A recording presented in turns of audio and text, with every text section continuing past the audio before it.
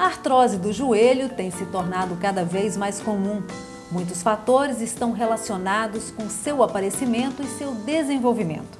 Para falar sobre esse tema, conversa comigo hoje no programa Saúde para você, o ortopedista Rogério Batalha.